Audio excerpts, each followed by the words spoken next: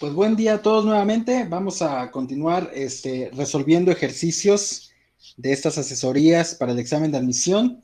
Vamos a trabajar un poquito con, este, con el Exani 2. ¿Sale? Vamos a trabajar ejercicios que tienen que ver con el Exani 2 y que de alguna manera pues han estado presentes en los exámenes de admisión de años anteriores, de este año también. Entonces, para que sigan practicando y pues sigan fortaleciendo sus conocimientos ¿De acuerdo? Bueno, vamos con el primer reactivo. Dice por aquí. ¿Cuál es el valor del ángulo alfa? Ok. ¿Cuál es el valor del ángulo alfa? Bueno, vamos a ver cómo va a estar este asunto. Tenemos por aquí que nos pide el valor del ángulo alfa. Tenemos un triángulo rectángulo. Vamos a ponerlo por aquí y tenemos algunos datos por aquí en este triángulo rectángulo. Nos dice que este ángulo de aquí arriba es el ángulo beta, el ángulo de aquí abajo es el ángulo alfa, que para este caso, como nos está pidiendo el ángulo alfa, este ángulo alfa es nuestra referencia, ¿sale? Entonces, ojo en ese detalle. Por aquí tenemos la medida de uno de los lados que vale 5, y la medida de esta hipotenusa, que vale 6.4. Muy bien. No voy a poner las opciones de respuesta porque este, me da un poco de flojera, pero sí vamos a resolver el ejercicio. Fíjense bien. A estas alturas de la vida, nosotros ya debemos tener plenamente este, claridad con la identificación de la hipotenusa y de los catetos en un triángulo rectángulo. ¿Sabe? Entonces, recordemos que la hipotenusa es el lado más largo o también se le conoce como hipotenusa a ese lado que está enfrente de mi ángulo de 90 grados. Por lo tanto, para este ejemplo, la hipotenusa vale 6.4. Los catetos, pues obviamente son los dos lados que me quedan. En este ejemplo solamente conozco uno de los dos catetos, que es el 5. El otro cateto, pues no lo conozco, ¿verdad? No me está preguntando por el valor de ese cateto que me hace falta. Si me pidieran el cateto que me hace falta, si me preguntaran cuánto vale esta X, entonces yo estaría en posibilidades de utilizar el teorema de Pitágoras, porque recordemos que el teorema de Pitágoras me permite saber este, la medida de uno de los lados cuando se conocen dos lados del triángulo rectángulo. ¿Sale? Muy bien. Pero bueno, en este caso parece que no lo vamos a usar. Vamos a ver cómo funciona este asunto. Nos pregunta por el valor del ángulo alfa. Cuando tenemos un triángulo rectángulo y nos pide el valor de un ángulo, por lo general recurrimos a las razones trigonométricas. Recordemos que hay seis razones trigonométricas, pero las tres primeras son las que en realidad nos ayudan a resolver la mayoría de los problemas que tienen que ver con triángulos rectángulos en el examen de admisión. Entonces, tenemos la función seno, la función coseno y la función tangente. Obviamente este seno, coseno y tangente están en función de un ángulo de referencia. En este caso, el ángulo de referencia es justamente el valor del ángulo que nos están pidiendo, el ángulo alfa. ¿Sale? Entonces, para todas estas funciones tenemos que tomar en cuenta el ángulo alfa. Ahora, recordemos que la función seno es igual al cateto opuesto entre la hipotenusa la función coseno es igual al cateto adyacente entre la hipotenusa. Y la función tangente es igual al cateto opuesto entre el cateto adyacente. Alguna de esas tres razones trigonométricas tenemos que utilizar. Yo no les escribí aquí las opciones de respuesta, pero en las cuatro opciones de respuesta aparece la función seno, lo que me da a entender que para este ejemplo yo voy a utilizar la fórmula del seno. Seno del ángulo alfa es igual al cateto opuesto entre la hipotenusa. Y de alguna manera pues tiene una razón de ser. Si yo tomo en cuenta que el ángulo alfa es este que tengo aquí en la parte de abajo, el cateto que está frente a ese ángulo es lo que nosotros tendríamos como cateto opuesto. Y tenemos un valor que vale 5. Entonces el cateto opuesto es un valor que sí tenemos y que vale 5. Y la hipotenusa como ya pudimos dar, darnos cuenta, también es un valor que nosotros conocemos, que es 6.4. Entonces, la razón por la que se utiliza esta función seno es porque el cateto opuesto y la hipotenusa son datos que vienen en nuestro problema. Y esto se refuerza con las opciones de respuesta que vienen en el examen. ¿Sale? Entonces, para calcular el ángulo, tendríamos entonces la siguiente expresión. Déjenme borrar esto que es innecesario. Tendríamos que seno del ángulo alfa es exactamente igual a dividir 5 entre 6.4. ¿Sale? Ahí está. Entonces, nosotros normalmente cuando resolvemos estos problemas, pues dividimos 5 entre 6.4, nos da un resultado, y luego para despejar el ángulo, este seno pasa a mi lado derecho como seno a la menos 1, o arcoseno, como también se le llama. Pero en las opciones de respuesta, lo único que hacen Por eso es importante que observen las opciones de respuesta para que vean qué tanto deben o qué tanto no deben hacer en el ejercicio. En las opciones de respuesta aquí lo único que hace es mover este seno a mi lado derecho como seno a la menos 1 para tener despejado el ángulo alfa. Entonces, el ángulo alfa va a ser igual a seno a la menos 1 de lo que tengo del lado derecho, que en este caso es 5 entre 6.4. O sea, me está diciendo cómo sacar el ángulo alfa sin sacar el ángulo alfa. ¿No? O sea, ¿cómo sacar el ángulo alfa sin sacar el ángulo alfa? Es decir, solamente el examen te está pidiendo que me indiques el camino que yo tengo que seguir. Y así como están viendo esta expresión, así aparece en las opciones de respuesta. Entonces, para este ejemplo, la respuesta correcta quedaría expresada de esta manera. Entonces, si en el examen, por ejemplo, fuera este el ejercicio y la respuesta correcta fuera 51.37 grados, pues entonces tendrían que resolver esto que tenemos aquí.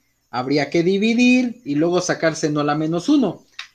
Aunque aquí debemos de tomar en cuenta que no podemos usar calculadora científica. Entonces técnicamente sería imposible, a menos que nosotros tuviéramos o nos aprendiéramos los valores de las eh, tablas trigonométricas, de sacar seno a la menos 1 de un valor. Justamente por esa razón es que el Exani simplemente este, muestra las opciones de respuesta donde no hay necesidad de hacer algún cálculo. Por eso solamente lo expresa de esta manera y simplemente hay que este, recordar estos conceptos de cateto opuesto, la hipotenusa, hacer el despeje correcto, usar la función o la razón trigonométrica correcta y llegar a un despeje válido que entonces nos permita tener el, ejercicio este, resuelto pues acertadamente, ¿no? Hay que tener nada más cuidado ahí con, ese, con esos detalles, muchachos. Muy bien. Ahora, vamos a pasar a otro problema, ¿sale? Entonces, pónganse bien truchas, ¿ok? Estos ejercicios son, son reales para que no me los vayan a sorprender por ahí. Dice por acá, este ejercicio está un poco largo, a ver qué dice. En un nombre, dado una letra, ok, dado una letra, se repite, ok. En un nombre dado, ok, en un nombre dado una letra se repite. Ah, puede ser. Un nombre dado una letra se repite. Si se considera, ok. Si se considera que cada letra vale el lugar que ocupa, vale el lugar que ocupa en el abecedario, ok, que la suma de las otras letras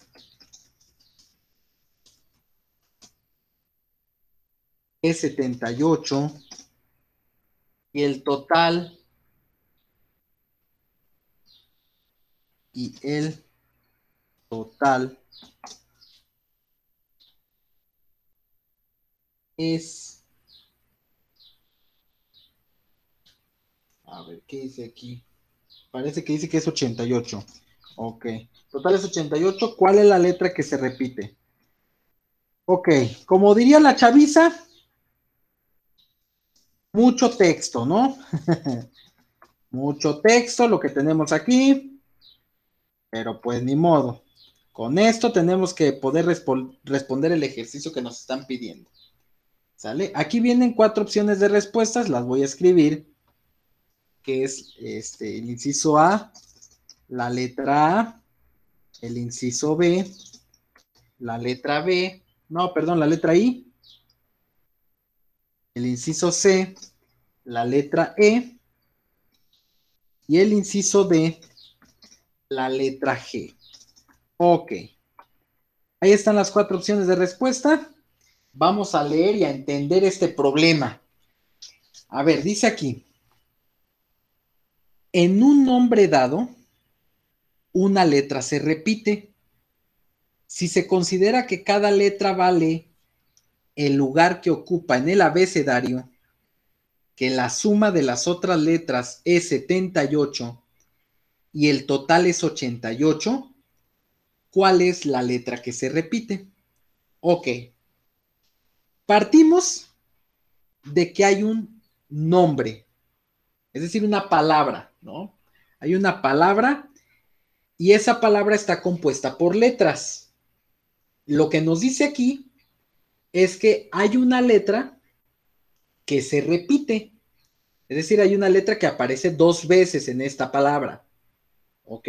Entonces, dice, si se considera que cada letra vale el lugar que ocupa en el abecedario, bueno, en este caso, tenemos que saber cuál es el valor de cada una de las letras que vienen en nuestras opciones de respuesta tomando en cuenta que cada letra equivale a la posición que ocupa en el abecedario. Vamos a ver. Para el caso de la letra A, como es la primera del abecedario, pues vale 1.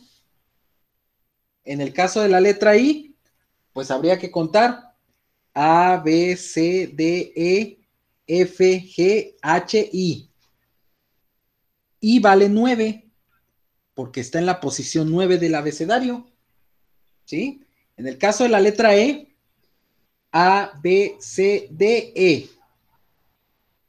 Vale 5, porque está en la posición 5 del abecedario. Y la G, volvemos a repetir, A, B, C, D, E, F, G. vale 7. ¿Ok? Esos números se sacaron de la posición en que esas letras están en el abecedario. ¿De acuerdo? Vamos a continuar con el ejercicio. Si se considera que cada letra vale el lugar que ocupa en el abecedario, que ya los tenemos aquí, que la suma de las otras letras es 78 y el total es 88, ¿cuál es la letra que se repite? Ok, entonces nos dice que es una palabra, un nombre. No nos dice cuántas letras tiene. Ok, no nos dice cuántas letras tiene. Lo único que nos dice es que hay una letra que se repite dos veces. Entonces, vamos a suponer que tengo una palabra de cinco letras, ¿ok?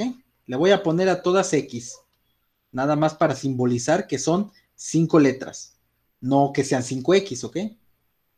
Es una palabra de cinco letras. ¿Por qué cinco letras? Pues porque se me ocurrió. Pudo haber sido una palabra de 20 letras, ¿no? Una palabra de 8 letras, una palabra de 10 letras. No importa cuántas letras. El punto es que está formado por varias letras. Pero de esas letras hay dos que se repiten.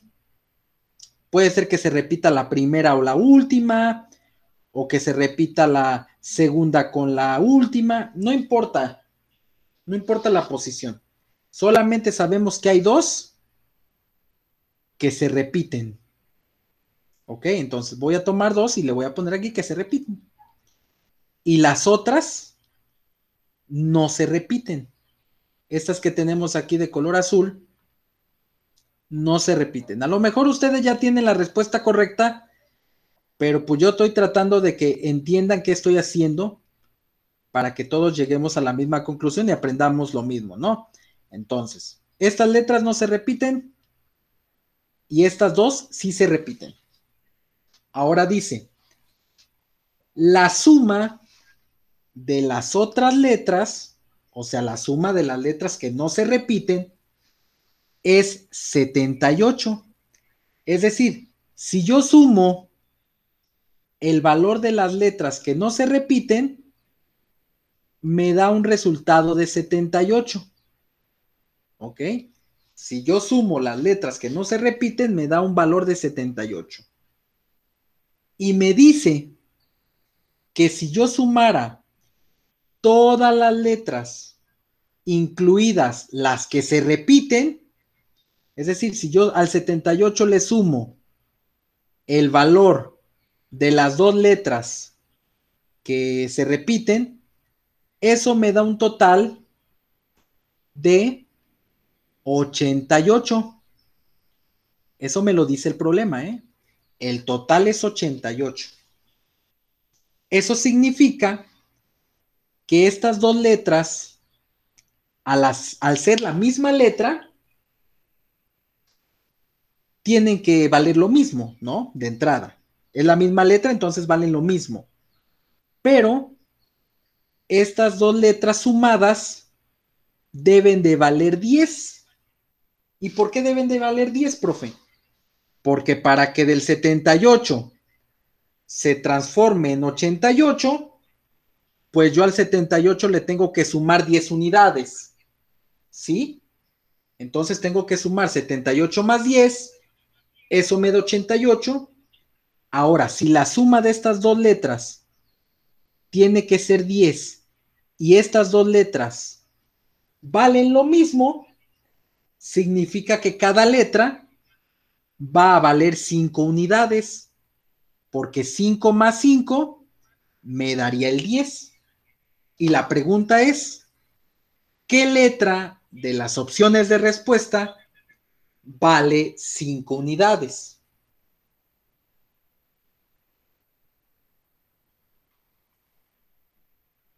La letra E. En efecto. Entonces, la letra E es la letra que se repite en este nombre, ¿sale? Realmente no nos importa saber de cuántas letras se compone la palabra, porque sabemos perfectamente que todas las letras que no se repiten, la suma de ellas es 78. No importa si aquí hay tres letras o cuatro letras o 20 letras, la suma de ellas es 78. Y la suma de las letras que se repiten, que son dos letras, pues me tiene que dar 10 para que la suma total sea 88. ¿Vale? Entonces, espero que hayan entendido un poquito la lógica de cómo resolvimos este problema. Este problema probablemente pueda ser de pensamiento analítico, porque nos pone un poquito a razonar eh, las posiciones de las letras, este, dependiendo la ubicación en el abecedario, y nos pone un poquito a razonar ahí en ese sentido. Así que pónganse bien pilas, ¿ok? Muy bien. Vamos a ver otro ejercicio, muchachos. Tenemos por aquí el siguiente ejercicio, a ver qué tal nos va. Dice lo siguiente. ¿Cuál es el término erróneo en la serie? Ok, volvemos a pensamiento analítico y al asunto de las series que tanto adoran, ¿verdad? Yo lo sé. A ver, tenemos a 3 de 6. Ok, voy a ir escribiéndolos y ahorita platicamos. Ok.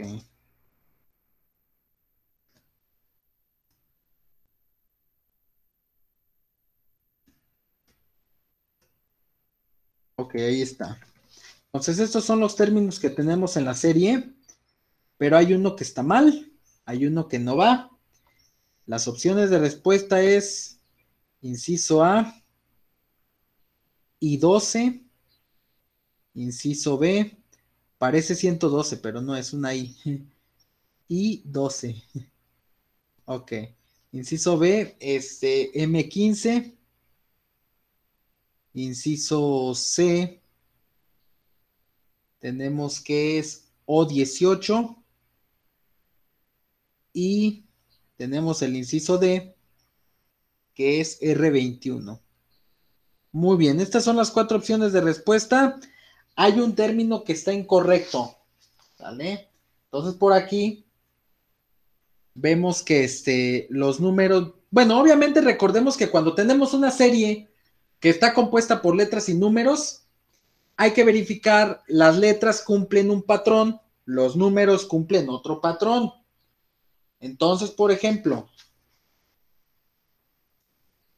en el caso de los números, el salto entre número y número aparentemente va de 3 en 3. 3 más 3 son 6, 6 más 3 son 9, 9 más 3, 12, 12 más 3, 15, 15 más 3, 18 y 18 más 3, 21. Es decir, hay una, hay un valor constante que se va sumando 3 y nos van dando los números siguientes. Entonces, aparentemente con los números todo está bien. El problema entonces debe estar en las letras. Habrá que revisar dónde está el problema con respecto a las letras. A ver. De la A para llegar a la D, si nos vamos al abecedario, A, B, C, D. Hay un salto de dos letras para llegar o para pasar de la A a la D. Entonces hay un salto de dos letras. Dos letras. Vamos a ver. Luego tenemos de la D a la G. D, E, F y luego va la G. Ok, hay un salto de dos letras también. Ahí se va cumpliendo la situación. Luego tenemos de la G a la I. A ver, tenemos D, E, F, G, H, I, J. Ah, caray. No está la J. Está la I. Aquí tendría que estar la J.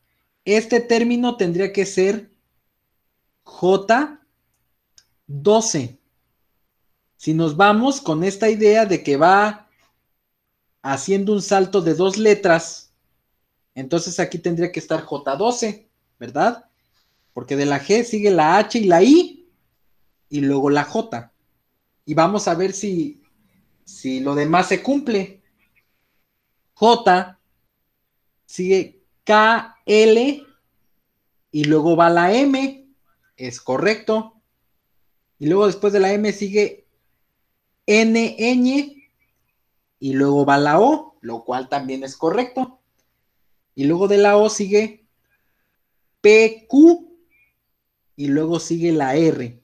Entonces, con total seguridad, nos damos cuenta que el término que está mal es este que es I12, porque no tendría que ser I12, tendría que ser J12.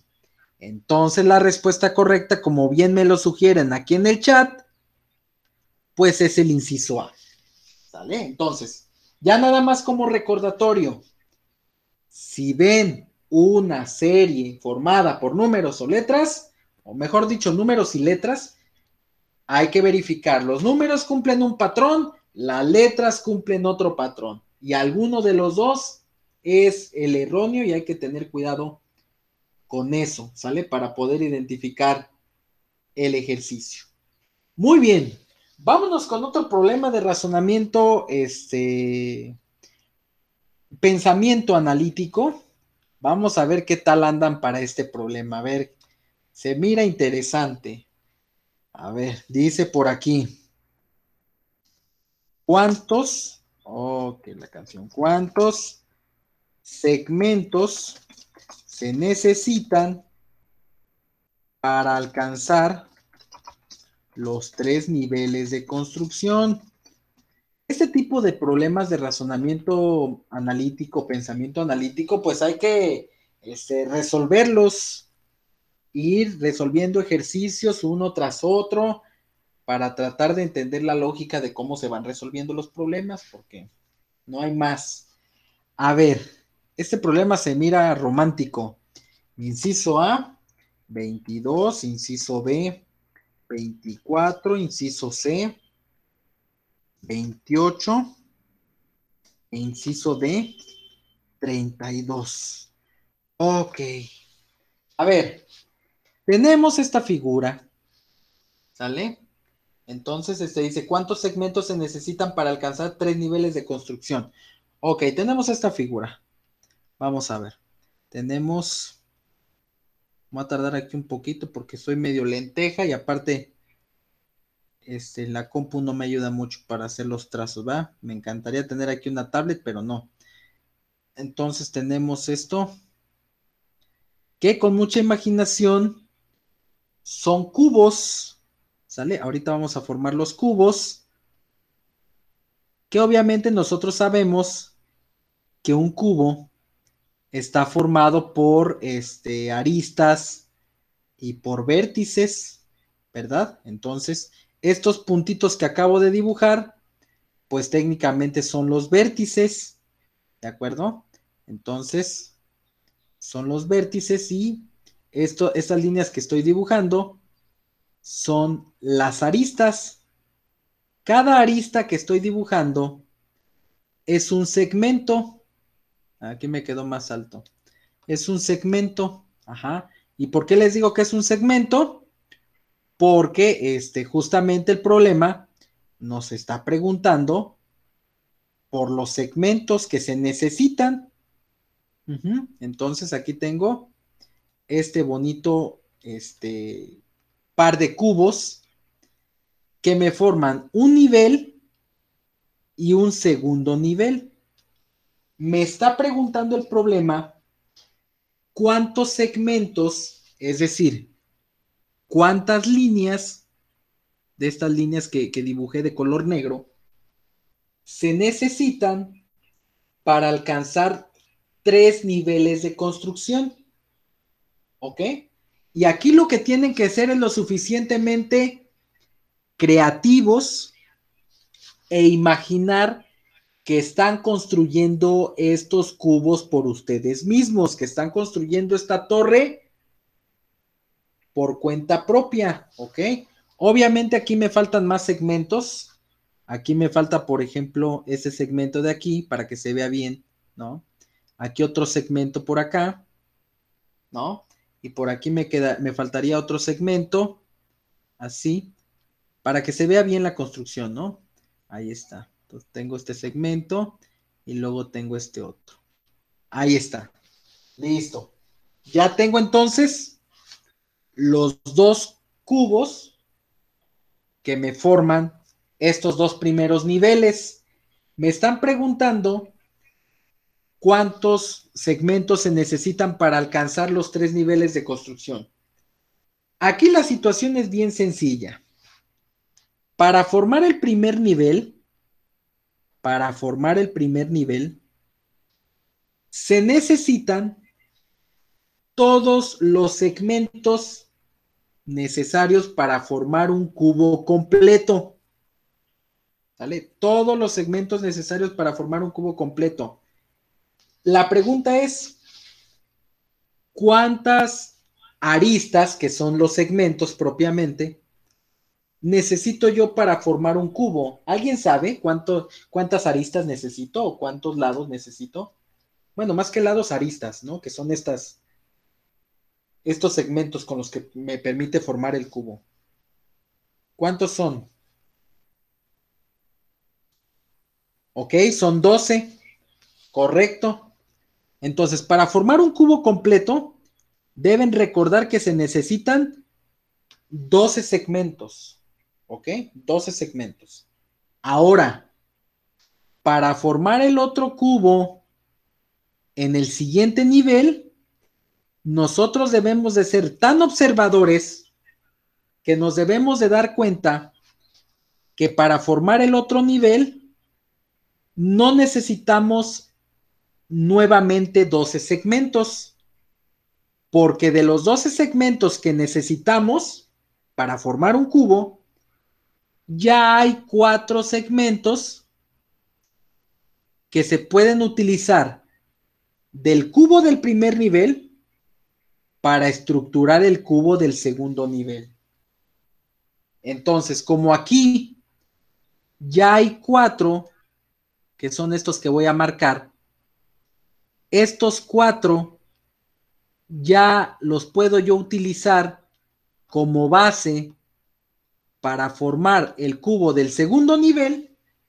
Entonces, técnicamente, para formar el cubo en el segundo nivel, pues nada más necesitaría ocho segmentos, porque los cuatro que me hacen falta ya están aquí, que son del primer nivel. Y hay que tener mucha observación para llegar a esa conclusión, ¿sí? Porque de esto se trata, de pensar. De eso se trata pensamiento analítico. Eso significa que si yo quiero construir un tercer nivel, pues entonces para el nivel 3 va a ocurrir lo mismo que lo que sucedió para construir el nivel 2, vamos a tener que utilizar nuevamente ocho segmentos nada más que nos permitan construir nuestro nivel 3, ¿no? Entonces, aquí lo voy haciendo de manera rápida, ¿no? Nada más necesitamos 8 y listo. Entonces, ahí está. Bueno, obviamente aquí me falta este. Ahí está. ¿no? Bueno, entonces, ¿cuántos segmentos necesito? Pues simplemente hay que sumar estos tres números. 12 más 8, 20, más 8, 28. Necesita entonces 28 segmentos para poder llegar a este resultado, como bien me lo sugerían desde hace ratito. Y la respuesta correcta está en el inciso C. ¿Sale? Entonces hay que tener esa, esa virtud de darnos cuenta de que para construir los otros niveles, pues no vas a necesitar el total de segmentos que las que, que utilizaste para formar el primer cubo del nivel 1, puesto que ya hay una base de cuatro segmentos donde nada más tienes que anclar los otros para formar el, los cubos en el siguiente nivel. Nada más hay que tener ahí mucha, mucha observación para ese, ese rollo. ¿De acuerdo? Bueno, muy bien. Vámonos con otro ejercicio, muchachos. Dice lo siguiente. En una caja, vamos a ver, en una caja hay 12 botellas de vino blanco y 17 de vino tinto. Y la pregunta es, ¿cuál es la probabilidad de escoger al azar una botella de vino blanco? Ok, cuando estudian probabilidad, las nociones básicas de probabilidad, pues este ejercicio resulta bastante sencillo. ¿Sí? Dice, en una caja hay 12 botellas de vino blanco y 17 de vino tinto. Obviamente todas las botellas están en la misma caja. Dice, ¿cuál es la probabilidad de escoger al azar una de vino blanco? Bueno, recordemos que la probabilidad de un evento es igual al número de casos favorables. Ok, número de casos favorables dividida entre el número de casos posibles. Entonces hay que recordar esto primero, que son las nociones básicas de este, probabilidad. Ok, número de casos favorables entre el número de casos posibles o casos totales, como lo quieran ver, ¿no? Entonces hay una caja, hay botellas de vino blanco, botellas de vino tinto. Si yo saco una botella, pues obviamente este, hay un total de botellas que es igual a 29. ¿Sale? Entonces, el total de botellas es 29. Pero de esas 29 botellas, hay 12 de vino blanco. ¿Y por qué me estoy refiriendo únicamente a las de vino blanco? Porque el problema me está preguntando por la probabilidad de escoger al azar una de vino blanco. Entonces, si yo voy a sacar de una caja una botella, pues hay un universo de 12 botellas de vino blanco de 29 botellas totales que hay en la caja. Si yo quiero saber la probabilidad de sacar una botella de vino blanco, pues entonces esta es la respuesta correcta para este ejercicio. Hay una probabilidad de 12 botellas de 29 posibles, ¿ok? Porque hay 12 de vino blanco. Si la pregunta fuera la probabilidad de obtener una botella de vino tinto, entonces para el vino tinto, pues la respuesta sería 17, porque hay 17 botellas de vino tinto, entre 29 botellas que hay en total. ¿No? ¿Sale? Esa sería la respuesta correcta si me preguntaran por la probabilidad de escoger una botella de vino tinto. Ahora bien, ya nada más para puntualizar este ejercicio, recordemos que la probabilidad no solamente se puede expresar en fracción, también se puede expresar en forma decimal. Para esto tendría yo que dividir 12 entre 29, lo cual me da 0.413. Así también podría venir la opción de respuesta en el examen. Habría que tener cuidado con eso. ¿Vale? 0.413. O también puede venir expresada en porcentaje, como bien lo sugiere su compañera Jocelyn aquí en el chat. Y recordemos que para expresarlo en porcentaje, este valor en decimal se multiplica por 100. Y eso me da un valor de 41.3%. ¿Sale? Entonces, puedo usar más decimales, pero bueno, la idea es exactamente la misma. 41.3%. Ahora sí que todo depende de cómo estén las opciones de respuesta en su examen, es la forma en la que ustedes resuelven este ejercicio. ¿Vale? Entonces, este, no son problemas tan complicados los de probabilidad. Eso lo tengo claro. Simplemente, pues hay que, hay que prestarle la atención necesaria. Muy bien. Vamos a resolver otro ejercicio. Ajá, a ver, déjenme checar por aquí este ejercicio. Muy bien. Este también tiene que ver con pensamiento analítico. Nada más que está un poquito largo de construir, pero vamos a ver. Dice, ¿cuál figura es errónea en la serie?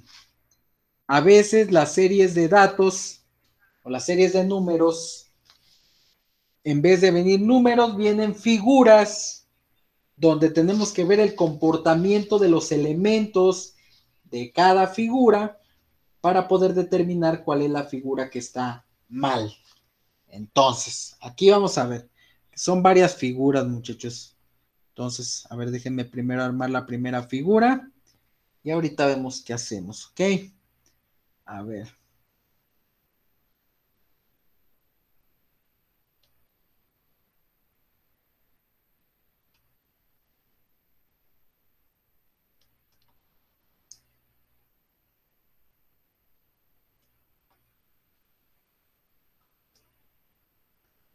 Bueno, con mucha imaginación.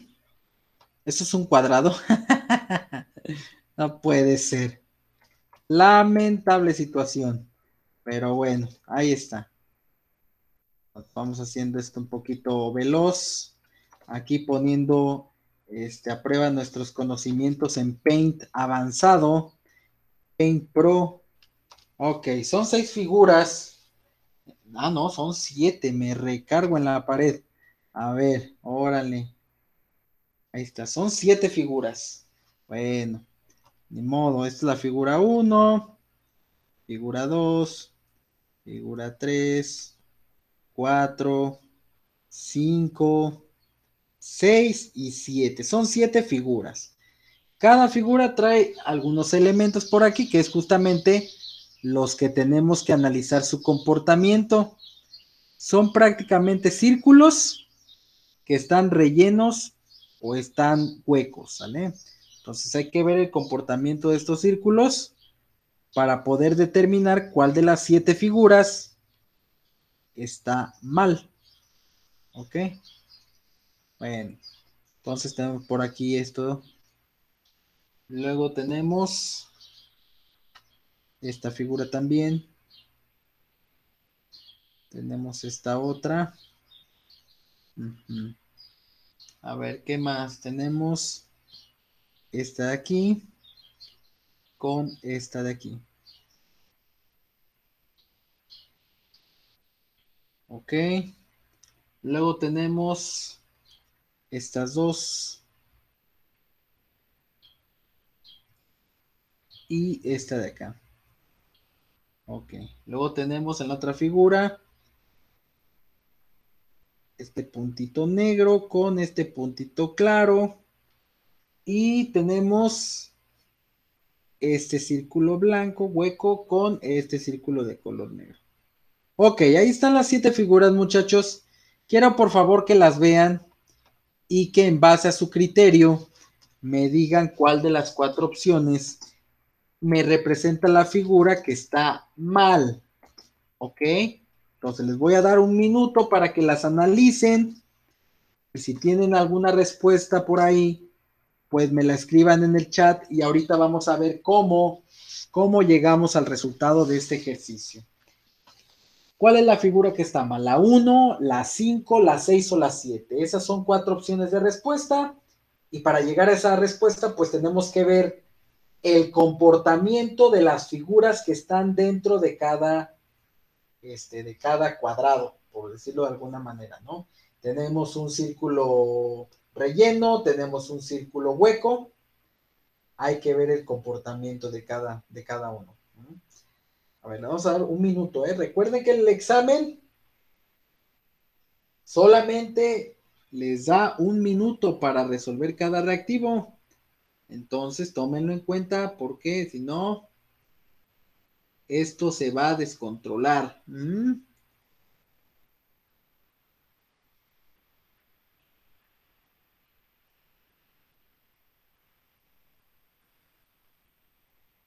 Dice Carolina que la respuesta es el inciso D. Ok.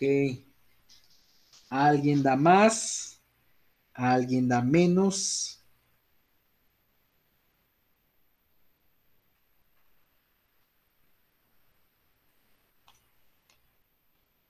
Ok, dice Marian que también el inciso, el inciso D. El inciso D, o sea, la figura 7. O sea, la última figura es la que la está regando gacho. Bueno, ahorita vamos a revisar entonces cuál es el, el asunto ahí.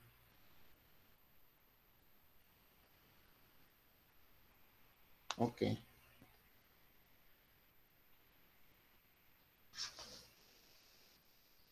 Muy bien, dice que, ok, dice Fanny que el inciso D y también me dicen que el inciso B. Ok, o sea que la respuesta está entre la figura 5 y la figura 7. Ok. Y dice Jocelyn que el inciso D. Ok, vamos a tener que resolver el ejercicio. Presten atención. La lógica de, para resolver estos problemas a veces varía porque cada alumno de repente tiene o cada persona tiene diferente manera de razonar los problemas. Eso es lo que lo hace realmente complejo. Pero aunque tuviéramos diferentes maneras de razonar el ejercicio, tenemos que llegar a una solución común. ¿Ok? Así que vamos a ver qué es lo que está pasando y por qué algunos dicen que el inciso B y otros dicen que el inciso D. Vamos a ver. Técnicamente no tendría que haber ninguna duda con respecto a, a que hay una sola respuesta correcta. Pero vamos a analizar. Primero me voy a posicionar con la figura que es el puntito de color negro, todo relleno. Si yo observo la primera figura, está en la parte superior izquierda. Y para la segunda figura, ya está en la parte superior, lo que significa que de la figura 1 a la figura 2 hubo un desplazamiento de una posición en sentido de las manecillas del reloj. ¿Sí? Y si este comportamiento se mantiene, entonces eso significa que si yo esta figura negra en, la muevo una posición en sentido de las manecillas del reloj, pues en la figura número 3 va a aparecer justamente en esta posición que es la parte superior derecha, donde sí está en la posición que le corresponde. Si seguimos esa lógica, entonces esta figura va a hacer un salto también nuevamente en sentido de las manecillas del reloj. Entonces ahora estaría en la siguiente posición. Y nuevamente aplicando la misma lógica, aquí estaría en esta posición. Y en esta lógica también, en la figura 6 aparece en esta posición. Y finalmente para la figura 7 tenemos esta posición. Entonces técnicamente el movimiento de la figura de color negro pues hace ese movimiento y no se ve que haya ningún problema con eso. Ok, no hay ningún problema con eso, ¿sale? Ahora, vamos a revisar la figura que está en color blanco, ese circulito que está en color hueco. Vamos a ver qué fue lo que pasó. La figura de color hueco la tenemos primero en esta posición que es la parte superior derecha. La tenemos aquí. Luego, de acuerdo a lo que nosotros podemos observar, hay un salto de dos posiciones. Bueno, salta una posición y en la siguiente se coloca, ¿no? Ahí está. Entonces llega a esta posición.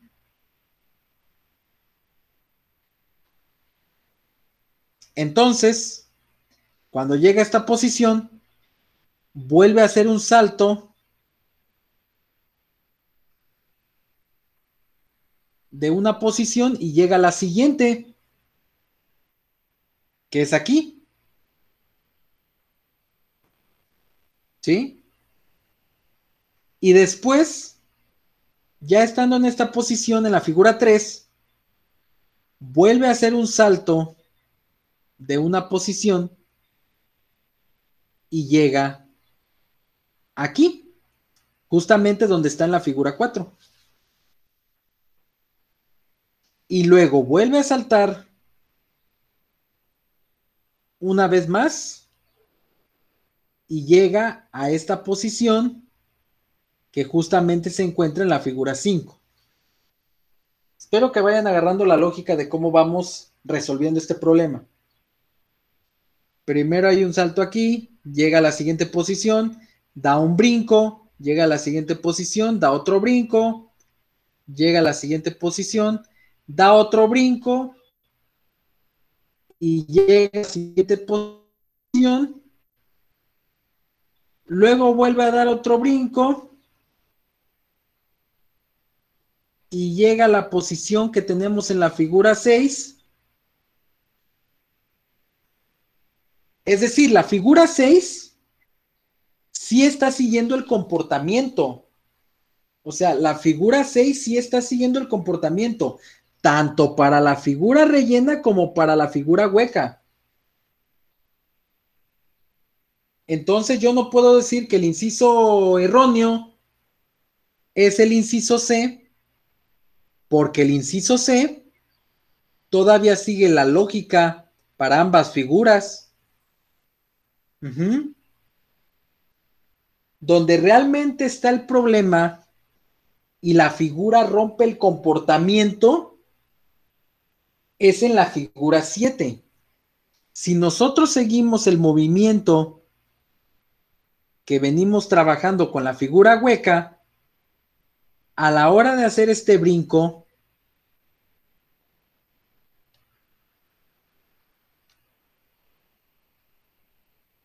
esta figura hueca tendría que estar aquí. Y justamente tendría que estar en, en la misma posición o en el mismo lugar que esta figura de color este, negro. O sea, dense cuenta que en esta figura 7, ambas figuritas, ambos círculos tendrían que coincidir, porque ambos al hacer sus respectivos movimientos llegan a la misma casilla. Pero aquí, en esta figura 7, me están poniendo el círculo hueco hasta por acá arriba, lo cual definitivamente, pues no, no coincide con lo que estamos esperando. Por eso, por eso, la figura que no cumple con la secuencia que nosotros estamos desarrollando es la figura número 7, o sea, la que está en el inciso D. ¿Ok? Entonces, tengan mucho cuidado porque este, la figura que rompe el patrón en este caso es la figura 7 porque no están estos circulitos en las posiciones donde deben de estar. Bueno, en el caso del círculo negro sí está en la posición que debe de estar, pero en el caso del círculo blanco no está en la posición donde debe de estar. Y por eso es la figura errónea.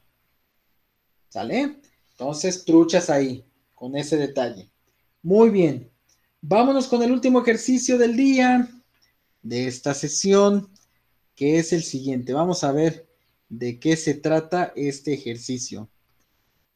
Ustedes que son muy, muy dados a los refranes y todas estas cosas, pues este va a ser un problema sencillo. A ver, dice por aquí. Seleccione el refrán. Seleccione el refrán que se aplica a la siguiente situación. Parece chiste, pero este tipo de problemas a veces vienen en pensamiento analítico un poquito más que nada para hacer este hincapié en qué tan buenos somos para interpretar las frases. Así que pónganse bien truchas. Selecciona el refrán que se aplica a la siguiente situación. A ver, ¿qué dice la oración? Es necesario estar alerta en forma permanente para no equivocarse. Ok, esta es la frase o la situación que nosotros tenemos que comparar con algunos refranes conocidos.